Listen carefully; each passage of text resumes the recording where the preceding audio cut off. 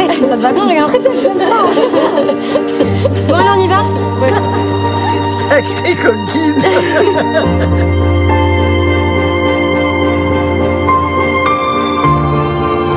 Vous avez des enfants? Ce n'est pas le problème. Si, un peu quand même. Parce que je suis sûr que dans votre fauteuil là, bien calé, vous êtes persuadé que vous savez tout ce qui se passe dans la tête de votre gamin? Parce que vous lui avez assez rabâché qu'il fallait pas parler aux inconnus, encore moins monter dans la voiture d'un étranger. C'est une étiquette de fantard. Tu vois pas la tête de diable, là? On nous ment tout le temps. Là, tu pars trop loin, mais. Que si par hasard quelqu'un de louche venait lui parler pour lui demander d'aller se faire éclater la gueule à 4000 km d'ici. Il viendrait le dire à son papa et sa maman.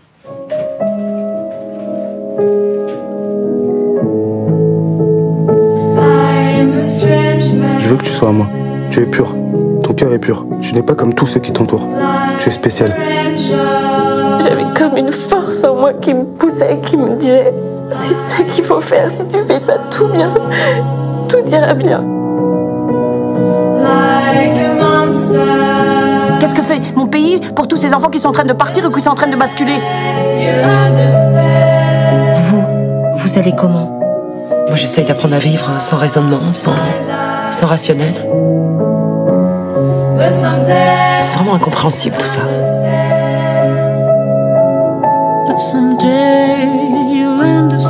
On sait rien du tout, monsieur.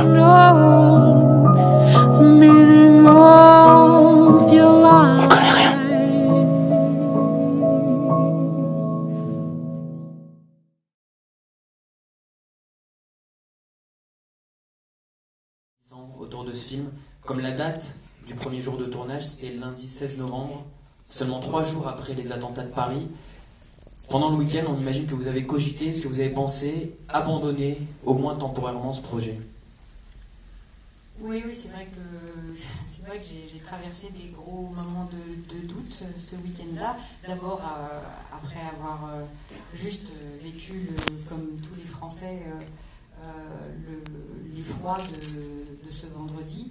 Euh, et puis, euh, et puis après, euh, voilà, les questions qui affluent. je me demandais si j'étais à la hauteur, si j'avais le droit, si je pouvais, si je ne pouvais pas, si si je pouvais imposer ça à mon équipe, à mes comédiennes. voilà, beaucoup, beaucoup de questions. Et donc, quand j'ai beaucoup de questions, il faut que je parle beaucoup. Donc, j'ai parlé beaucoup avec Noémie, Naomi, euh, Émilie. Voilà, on s'est. On s'est, ai confié mes doutes, mes angoisses. Euh, et puis, à la fin du week-end, en fait, je me suis dit que de faire ce film, euh, ça serait certainement une, un meilleur moyen de combattre cette peur euh, qui s'était un peu abattue sur nous tous et, euh, et que justement c'était peut-être euh, il fallait encore plus le faire Euh, et donc le lundi matin eh bien on, on s'est tous retrouvés euh, à Créteil puisque c'était euh, là où on tournait et voilà j'ai pour habitude de de faire des cercles d'amour euh, avec mon équipe. Donc je leur ai demandé de voilà d'en faire un spécial ce lundi matin là. On était dans une église et voilà on a fait un, cercle, on fait là, on s'est donné les mains et, et je crois que ça nous a voilà on s'est dit après on y va et puis euh, on va faire un film. Vous avez évoqué cette peur de ne pas être à la hauteur. Est-ce que les comédiennes, Noémie, Sandrine, vous avez partagé aussi cette peur pendant le tournage? Noémie. Euh, bah, je vais un peu euh, répéter ce que ce qu'a dit Marie Castille. Euh, quand on a appris les attentats, ça a été un choc énorme. On n'a plus pensé au film à ce moment-là. Et après, quand on a décidé de le faire, et on était tellement unis dans cette envie de, combattre. euh, et c'était notre arme, c'était euh, de faire ce film. C'est une arme euh, lumineuse. C'est toi qui avais dit ça il y a quelques jours, je trouvais ça beau. Lumineuse, c'est-à-dire de- d'essayer de, comprendre ensemble, d'ouvrir au dialogue, de poser les choses avec une bonne distance. Euh, je trouve que Marie Cassie a su doser. et mettre une très bonne distance et une belle distance pour expliquer des choses qui font peur, qui, et qui aussi donnent de l'espoir, parce que le film montre qu'il y a un processus de désemblégamment possible. Et c'est important de le dire aussi, et de dire que ça passe par euh, recréer le lien entre les gens, entre les parents, entre la société, et, et de, de que l'amour est plus important que tout. Et c'est ça qui, qui moi aussi, m'a tenu pendant ce tournage. C'est cet amour et cette union qu'on avait tous. Sandrine, vous rejoignez les propos de Noémie. J'ai entendu une de vos partenaires, Clotilde Courreau, qui parlait de douleur pendant tout le tournage. Ça aussi, c'est un sentiment que vous avez partagé avec elle? Hum, Non. j'ai pas. Euh, alors moi, j'ai eu peur. Euh, après avoir lu le scénario, mais pas peur euh, du scénario, puisque je l'ai trouvé magnifique. Je me suis juste interrogée si euh, il n'était pas risqué de faire un film pareil. D'abord, il fallait tous être à la hauteur. voilà, il y a des films, il y a des sujets qui sont tellement délicats qu'il faut faire attention. Donc j'ai demandé à Marie Castille quelques jours de réflexion. J'en ai parlé à mon, entourage, est-ce que c'est bien de faire un film sur un sujet pareil? Et puis j'avais peur aussi des conséquences. Euh, voilà, quand on est impliqué dans un sujet pareil, est-ce qu'il n'y a pas des conséquences ensuite sur notre, notre personne? Et très vite, je me suis dit, euh, non, il faut le faire. Il faut le faire. Euh, d'abord, j'étais tellement touchée par la manière dont c'était écrit. Je trouvais que c'était un film nécessaire, un film nécessaire à faire. Et euh, j'ai été touchée, pas, enfin, évidemment par le rôle, mais par l'ensemble du sujet. C'est-à-dire que je trouvais que c'était très juste la manière dont est abordé le sujet. Euh, on entre, moi je ne connais que les répercussions, les événements qui se sont passés, je ne connais pas, je ne connaissais pas en tout cas euh, le processus sournois, vicieux et tellement habile de Daesh. Et et voilà, je me suis dit, il faut, il faut participer à ce film. Et pour répondre à la question après euh, le Bataclan, euh, je n'ai plus eu peur après les attentats du Bataclan. Ça m'a au contraire donné beaucoup de force. Euh, je me suis dit, oui, il faut vraiment le faire.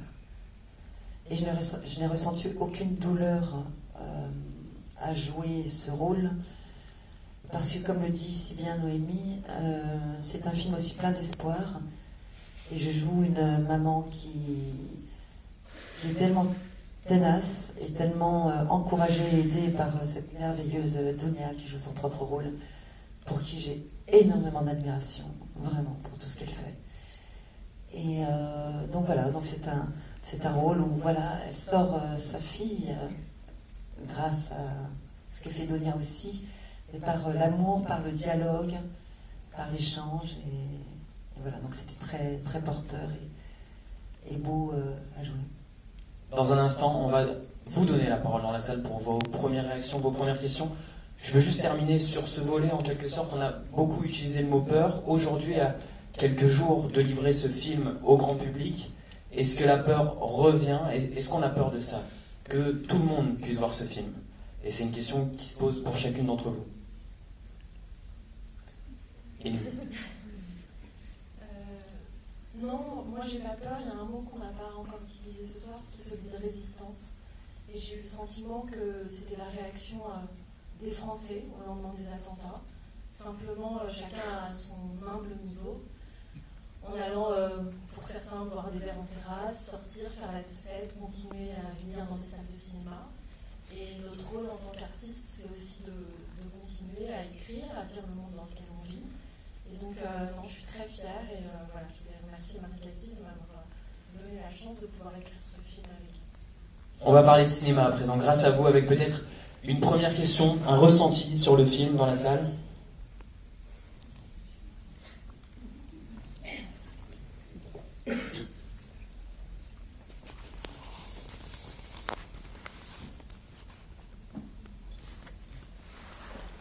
Bonsoir.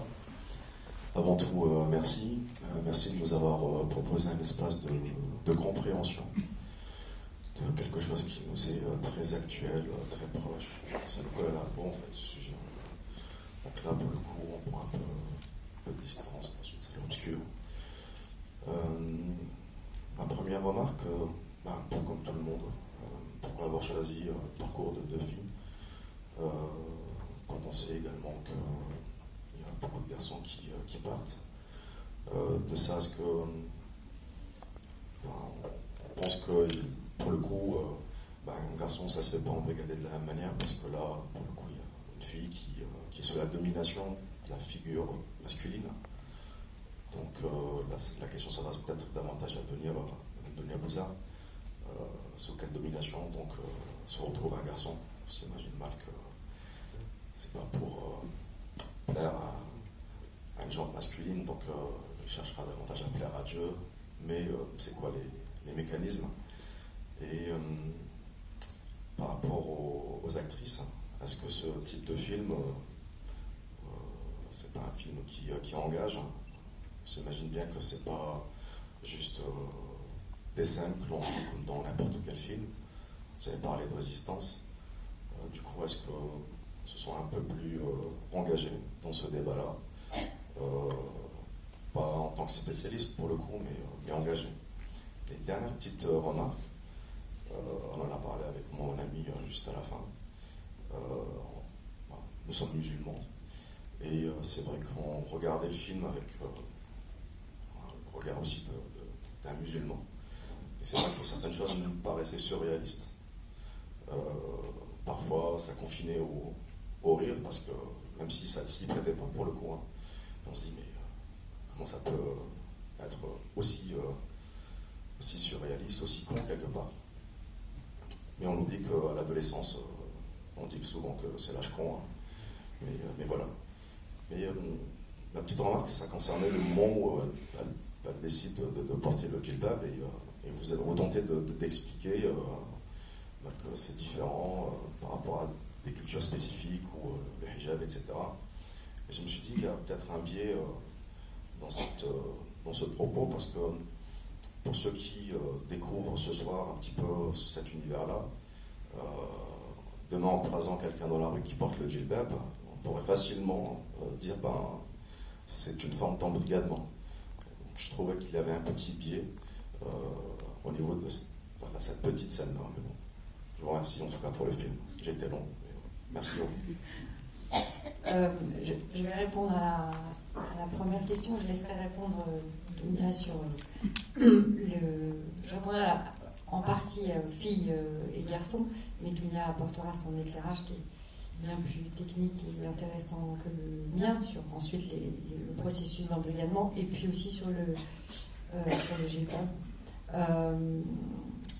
moi, ma réponse, elle est très simple sur les filles, c'est que il n'y a jamais eu de choix en fait dans ma tête sur filles ou garçons dès le départ, en fait, ce sont les filles qui me, qui m'ont totalement interpellée. Je crois que les, cas qu'on lisait, les, histoires qu'on lisait dans la presse, euh, très rares encore euh, euh, quand on a commencé, mais de, ces filles qui, à 14, 15, 16 ans, étaient parties en Syrie. Voilà, pour moi, il y avait un, énorme mystère qui était entre euh, la vie qu'on me décrivait avant de cette jeune fille.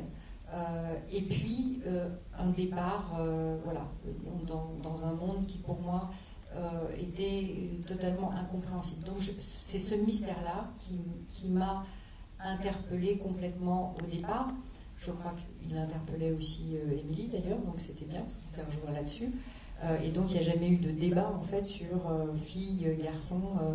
Euh, un de chaque. Euh, non. En plus, je dois dire très égoïstement que, euh, que je, pense que je me sentais plus à la hauteur, comme j'avais envie d'être extrêmement sincère dans ce film. de Sandrine l'a dit, voilà, c'est un sujet sensible, c'est un sujet.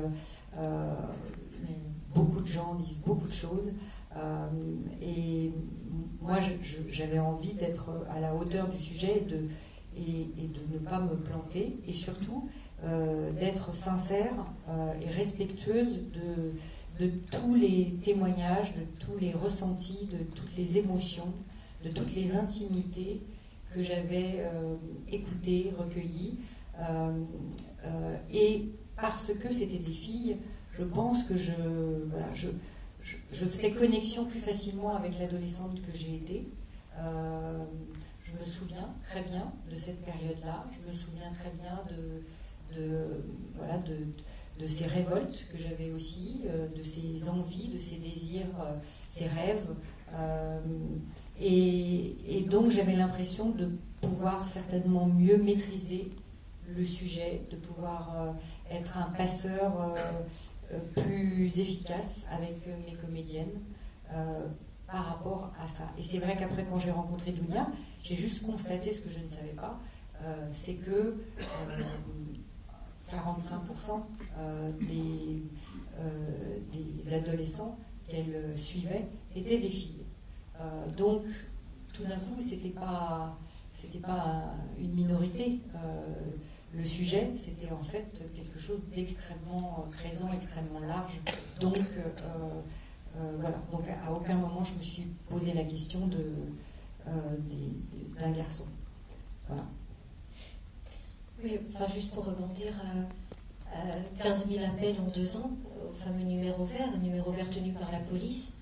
Donc 15 euh, 000 appels, ce sont des familles qui font confiance aux institutions et qui n'ont pas peur que tous les frères et sœurs soient fichés. Ce n'est pas tous les parents qui sont impactés et, qui auraient des questionnements sur euh, le besoin d'un diagnostic pour voir si leur enfant n'est pas en train de se faire euh, hameçonner par des prédateurs. Les parents appellent les recruteurs des prédateurs. Euh, sur les 15 000 appels, 45% de convertis, 40% de filles, 25% euh, de mineurs, pratiquement 90% de 12-25. Donc euh, vous voyez un petit peu la diversité. On n'est plus du temps d'Al-Qaïda. Al-Qaïda, il fallait être engagé, avoir un minimum de, comment dire, d'enseignement et d'engagement dans l'islam politique avec une filière, des ordres, une organisation. Là, euh, Daesh, il a déjà un territoire, c'est une grande soupe. Et pour répondre à votre question, euh, la particularité des recruteurs de, Daesh, c'est qu'ils vont individualiser l'embrigadement. C'est-à-dire qu'ils vont euh, essayer de se servir des vulnérabilités des jeunes et notamment des adolescents, de leurs idéaux aussi, que personne d'autre ne leur présente, et ils vont leur faire miroiter euh, des motifs d'engagement, des motifs de s'engager, des raisons de partir et de s'engager avec eux qui correspondent à leur profil psychologique. C'est-à-dire que grâce à Internet, ils vont les faire parler, ils vont jauger. Est-ce que c'est un jeune qui a vécu euh, des injustices, qui a un petit peu envie de se venger Est-ce que c'est un jeune, au contraire, qui a besoin d'être utile et qui a toujours eu, euh, qui a toujours eu envie d'un monde meilleur? Est-ce que c'est un jeune qui a envie de solidarité, de vraie fraternité? Euh, est-ce que c'est un jeune qui a besoin de se protéger? De se protéger parce qu'il aurait pu subir une agression quand il était petit, qui n'a pas été soigné, etc., etc. Et en fonction d'une espèce de diagnostic qu'ils vont faire de ce jeune, quand je dis jeune, c'est 12-25, là, ils vont proposer une raison de s'engager qui va correspondre à cette vulnérabilité. Ça marche pour les filles. le film montre deux profils de filles différentes et deux moments d'embrigadement différents, euh, mais ça marche pour les garçons aussi. Quand vous étudiez les. Nous, on a eu accès à 1000 conversations de jeunes qui ont essayé d'organiser leur départ là-bas, et que vous étudiez les conversations des jeunes avec le groupe radical, avec le recruteur, vous vous rendez compte que c'est la même chose pour le garçon. Vous avez parlé de, domination un peu pour les filles. Moi, je ne vis pas comme ça. Je pense qu'ils ont senti, euh, par exemple, comment elle s'appelle dans le film euh, Mélanie. Ils ont senti chez Mélanie euh, qu'elle avait perdu sa grand-mère. Ils lui ont fait peur avec euh, des vidéos qui mélangent le vrai et le faux, parce que quand même, quel, traitement des personnes âgées nous avons quelle, quelle, intervention internationale on mène quand il n'y a pas d'argent en jeu? Est-ce qu'on est intervenu pour les enfants gazés par Bachar el-Assad? Non. voilà, donc ils amènent euh, des dysfonctionnements politiques et sociétaux qui sont vrais. Et ils font croire que l'engagement chez eux va répondre. Alors, euh, Mélanie, elle a aussi euh, un, un rabatteur qui l'a séduit, c'est vrai, parce que ça arrive souvent, un rabatteur qui n'est jamais en série d'ailleurs, qui est payé, qui est dans un autre pays. Mais euh, ce qui est important, c'est que si le discours fait autorité sur elle, c'est qu'il lui propose, il fait semblant de lui proposer une solution pour euh, finalement quelque chose qui, qui, a énormément angoissé Mélanie quand elle a regardé. C'est-à-dire que Daesh, que ce soit les filles ou les garçons, ils font peur aux jeunes en leur disant ne fais confiance à personne, tu vis dans un monde complètement corrompu. Euh, Retire-toi de tes parents, ne fais pas confiance à tes profs, ils sont payés pour t'endormir, pour que tu n'aies pas de discernement, pour que tu ne vois pas les injustices, ne fais pas confiance aux éduques, ne fais pas confiance à tes anciens amis. Il y a une espèce d'angoisse, de grille paranoïaque qui monte comme ça, on voit bien d'ailleurs dans le film, mais ça fonctionne aussi comme ça chez les garçons. Et ensuite, on leur propose qu'on pourrait appeler une solution dysfonctionnelle, c'est-à-dire ne te mélange pas avec eux, attention, garde ta pureté, attention, euh, surtout les frôle pas, euh, pars, fuis, ou bien seule une confrontation finale pourra régénérer ce monde corrompu. C'est la phase euh, effectivement finale. Alors, vous avez parlé euh, du vêtement couvrant du niqab. Euh, la question, c'est que le jibab ou le niqab, les vêtements couvrants, sont utilisés par les recruteurs de Daesh pour euh, faire en sorte que le jeune, euh, comment dire, que le jeune n'ait plus d'identité individuelle, qu'elle n'ait plus de contours individuels et qu'elle se sente appartenir au groupe. Donc il est bien évident que le vêtement couvrant lui-même n'est jamais, jamais un signe de radicalité. D'ailleurs, aucun comportement religieux n'est jamais un signe de radicalité. C'est toujours le comportement de rupture.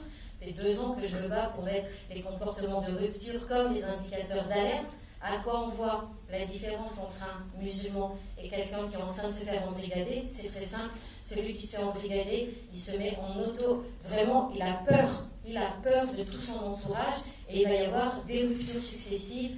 Il va plus arriver à travailler à l'école, il va plus arriver à parler à ses parents. Si son papa fait cinq fois le pèlerinage, euh, il le considérera quand même plus comme son père. C'est-à-dire qu'ils arrivent, il n'y a pas de, radicalisation sans désaffiliation. Tout le temps, ils vont faire en sorte que le jeune ne considère plus ses parents comme ses parents. Et il y a aussi une désincarnation, c'est-à-dire que la personne n'a plus de corps.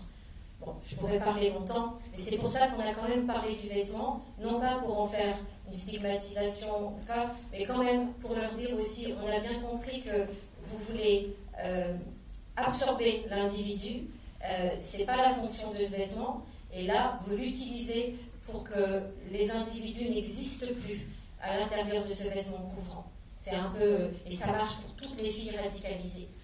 Donc euh, c'était quand même, on ne pouvait pas le, passer sous silence, c'est un de leurs outils aussi, même si euh, c'est pas un signe en soi-même. On va passer à une nouvelle question, une remarque.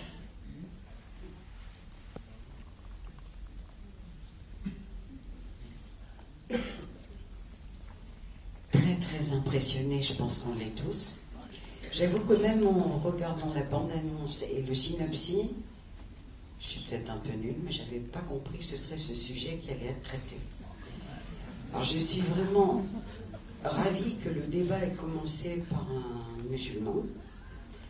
Euh, il y aurait beaucoup de choses à dire sur ce très vaste sujet.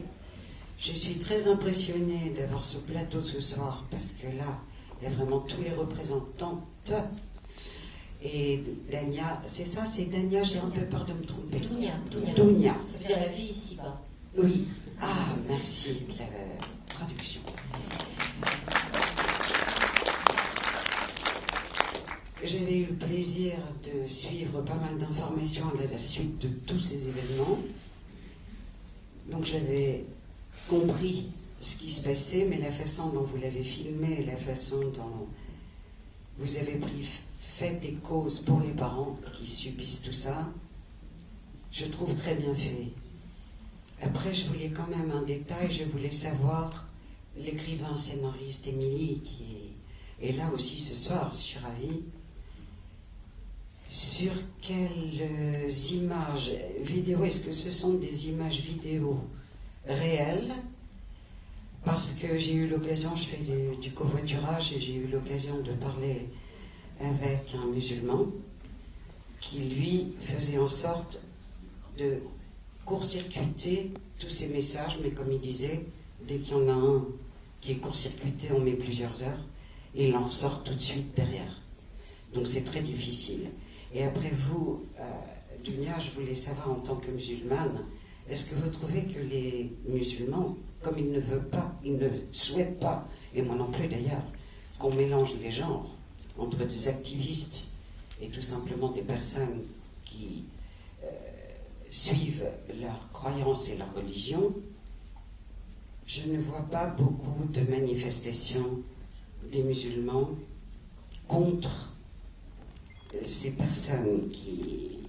Et quand j'ai posé la question à cette personne qui a essayé de me donner quelques renseignements, ils m'ont dit qu'on n'a pas le droit de se battre, on n'a pas le droit de tuer, on n'a pas le droit de... Alors, alors, alors, euh, comment ça va se passer tout ça? Parce que vous savez très bien, Dunia, que ça continue. Voilà, alors c'est un sujet épouvantable parce que ça mérite euh, pour plus qu'une soirée pour en parler.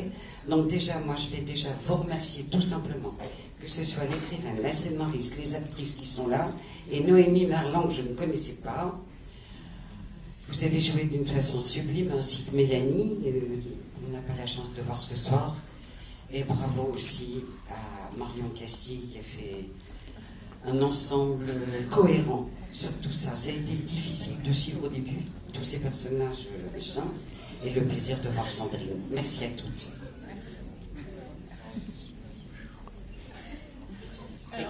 Vous parliez des, des, images, moi je m'occupe plus des mots. Je pense qu'il y avait d'autres mots sur le film, et surtout Marie Cassie qui a visionné voilà, des, des CD vidéos de. Voilà. Ah, Marie Castille est venue avec moi dans mon équipe pendant trois mois. Donc en fait, elle a vécu euh, le sauvetage des jeunes, la course au niveau des frontières, les démarrages à 2h du matin, les parents en larmes. C'était ma condition parce que j'étais en guerre contre les journalistes à l'époque et je ne voulais plus parler à personne. Donc euh, en fait, euh, comme c'était Marie Castille, j'étais honorée que celle qui avait fait les héritiers veuille traiter ce sujet. C'est la seule en qui j'ai eu confiance, mais je l'ai laissée rentrer dans notre vie pendant trois mois et elle a accédé aux vidéos tout simplement aussi par les jeunes parce que quand vous, comment, qu'est-ce que ça veut dire déradicaliser Ça veut simplement montrer aux jeunes le décalage qu'il y a entre ce qu'on lui a promis, les fausses promesses de Daesh, et la réalité de Daesh, projet d'extermination et de purification. Mais euh, euh, une fois qu'ils comprennent le décalage, en fait, la fausse propagande, bah, ils se rendent compte, en fait, euh, en quelque sorte, euh, qu'on a profité de leur vulnérabilité. Vous me parlez d'islam. Il n'y a pas beaucoup d'islam dans le film, vous avez vu. Il y a très peu d'islam. Euh, les musulmans ne réagissent pas. Mais les musulmans ont réagi comme tous les citoyens français. D'abord, ils ont été massacrés. Je vous rappelle que euh, les musulmans euh, sont les premières victimes euh, du terrorisme dans le monde entier. Ce sont ceux qui meurent le plus souvent, notamment en Algérie. Ça a été le plus grand massacre.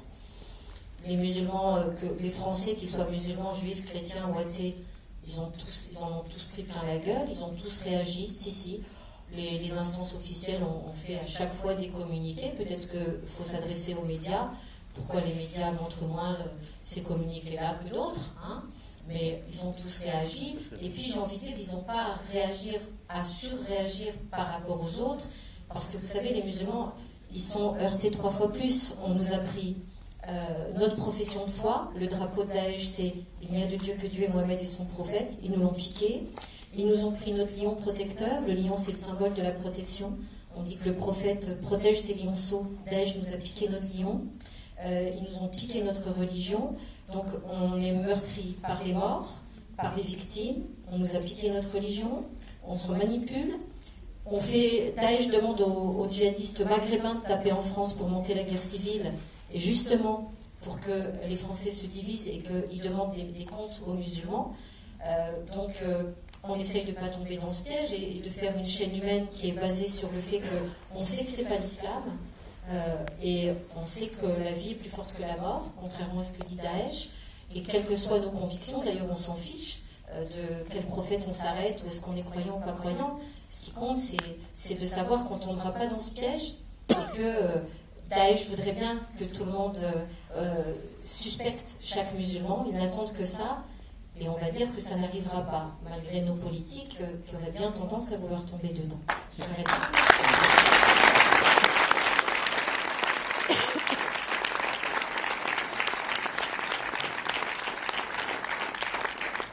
Marie Castille, durant les trois mois en immersion auprès de Dounia, est-ce que parfois vous avez été plus préoccupé par le sort des familles que vous rencontriez que par celui de votre film?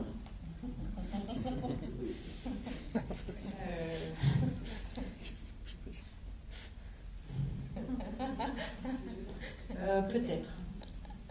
Euh, peut-être. Euh, c'est vrai qu'on on ne fait pas ces rencontres. J'ai été plongée, puis alors dès, le, dès la, première euh, demi-heure, euh, j'ai été plongée dans des, dans des histoires, dans des. Je disais le mot intimité tout à l'heure, mais c'est ça. euh, des intimités familiales où tout d'un coup je, voyais effectivement la douleur, le désarroi, la communication qui avait été complètement coupée, et puis des histoires qui- qui- étaient avant. Tout d'un coup, c'est on, ne vient pas à une séance de désembrigadement euh, euh, voilà, sans toute son histoire. Euh, l'histoire de sa maman, l'histoire de ses grands-parents, et, donc on assiste à, à- une plongée au cœur de l'humain. Et ça, c'est d'abord, je, l'ai pris comme un grand privilège, vraiment. Et puis, je, on ne peut pas juste sortir de, de la pièce en, ayant oublié ce qu'on vient de vivre, ce qu'on vient d'entendre, euh, les visages, euh, les larmes. Voilà, la, première euh, séance avec Dunia, j'étais comme l'équipe. Je pleurais, je riais, je pleurais, je riais. Je, vivais absolument tout ce que ces familles vivaient. Et, oui, on rentre chez soi, on, voilà, on, se dit il faut, qu'on écrive, on se remet sur le scénario, et, mais, mais, euh, mais oui, on ne peut pas les, oublier. Et d'ailleurs, pendant très longtemps, euh, euh, même quand j'ai commencé à tourner, voilà, je continuais de temps en temps à, au minimum à prendre des nouvelles de, de- des filles que j'ai rencontrées. parce que leur sort, leur évolution, là où elles en sont aujourd'hui, m'importe énormément. Euh, et, puis euh, parfois même on fait des réunions le week-end euh, dans mes bureaux parce que voilà parce que Dunia ça a arrangé Dunia et, que c'était la moindre des choses que je pouvais faire. Donc oui c'est difficile de- d'en sortir de ce point de vue-là. Ces séances dont vous parlez, vous les avez restituées à l'écran? Est-ce que, ça c'est une question que je pose à la metteur en scène, est-ce que ça a été nécessaire de diriger Dounia ou tout s'est fait finalement très naturellement Euh, bah, Dunia, d'abord, elle, a un peu résisté quand même à, en fait, d'interpréter son rôle, parce que c'était pas prévu au départ. Euh, et puis ça s'est imposé comme une euh, nécessité. Pour moi, je le voyais comme une richesse pour le public, vraiment, Euh, comme, un plus dans sa manière de décrypter les choses. Euh, je, pensais que c'était absolument nécessaire et, vraiment quelque chose qui, serait comme un, bonus pour le, public. Donc, euh, mais après, jouer son rôle, c'est ce qu'il y a de plus difficile. Donc, euh, donc je ne savais pas si je serais à la hauteur de ça non plus, parce que a, une personnalité voilà, qui, est la sienne aussi, et moi j'ai la mienne. Euh, et il fallait qu'elle s'intègre dans un groupe de comédiens euh, et qu'en même temps elle, euh, elle ne joue jamais à être Dunia, mais qu'elle soit comme moi je l'avais vue pendant tout ce temps, c'est-à-dire qu'elle reprenne possession en fait de, de, de sa, de sa parole, de son texte, puisque c'est son texte qu'on avait mis dans le scénario bien sûr, mais qu'elle s'en détache et qu'elle elle reparte comme si elle était en séance, en groupe de parole avec euh, de- des filles, euh, des parents. Euh, donc on avait trouvé un petit stratagème. euh, euh, Enfin, j'avais trouvé un petit stratagème avec euh, Duna. Je, je- je ne commençais jamais en fait su- sur elle. Je ne mettais jamais ma caméra sur elle euh, les 3, 4, 5 premières prises. Euh, j'étais sur, euh, sur Noémie, j'étais sur Sandrine, euh, j'étais sur les parents. Et donc, au fur et à mesure, Dunia avait l'impression d'être euh, chez elle, en fait. Euh, donc, euh, elle oubliait les caméras, elle oubliait que. Elle avait l'impression que c'était des vrais parents, parce qu'ils étaient très préparés en face. Et, et, puis, eh ben, elle, elle, était Dunia tout.